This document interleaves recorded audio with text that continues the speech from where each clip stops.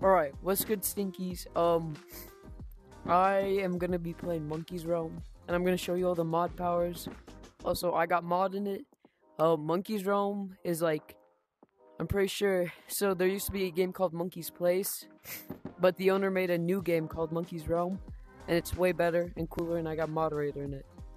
Alright, uh, let's get right into showing the powers. Also, some of them, um, I'll need to use on other players, so I'll probably show clips or something. Also, uh, the Discord, if you want to join, will be in the description, so go check that. Alright, let's get right into it. Alright, so the first power is scale.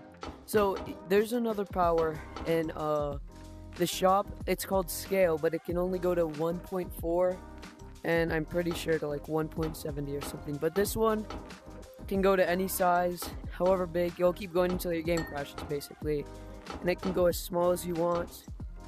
Like, just as small until you know, like this, like really small.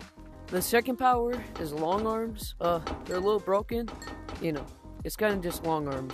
Third power, okay, so this one's pretty neat. I use it a lot. It's called freeze. You freeze your body. It's like you're outside of your own body, and if you press a button on your left controller, you'll go back into your body. I use this a lot, to, like troll people. It's very fun too in uh, public lobbies or in private lobbies with your friends. The next thing is no clip. I can't really hear. Uh, I'm gonna have to use platforms with it, but you basically just go under the map, come back up. Also, this is platforms, like invisible platforms that you can stand on. Um, I can't really show this because it doesn't work that well, but if you aim it at someone, uh, it will go onto their body.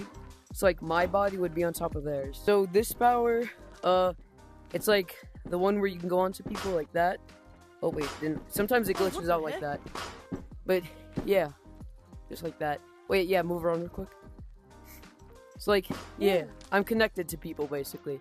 Also, this is my test subject. I don't know his name. I found him in a random lobby. The next one, a lot of people know it's Fly Monkey. You know, if you hold down these buttons on your controllers, you go forward, you fly around. Next thing, it's Spider Monkey. Um, Spider-Man. I, I'm not very good at using it. You know, it's basically a Spider-Man kind of thing. You can go back and forth between it. The next thing is Ghost Monkey. Um, you can go invisible by holding a button down on your right controller, and then if you let go of it, you become, uh, you can be seen again. Uh, the next one, oh yeah, this one's a little glitchy, is roll.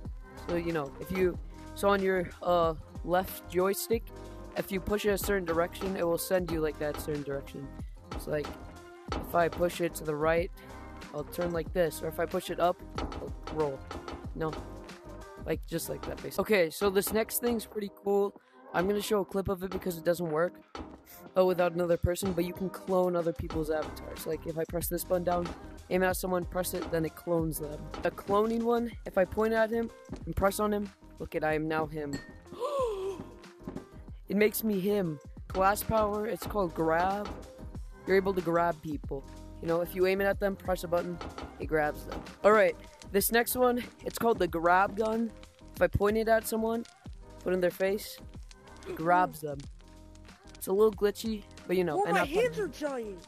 Yeah, your oh your entire body is giant, but if you grab someone, you can move them around. So yeah, that's basically it. I'm gonna show some of the other powers back there in another video, or in like a short or something. Anyways, bye bye stinkies.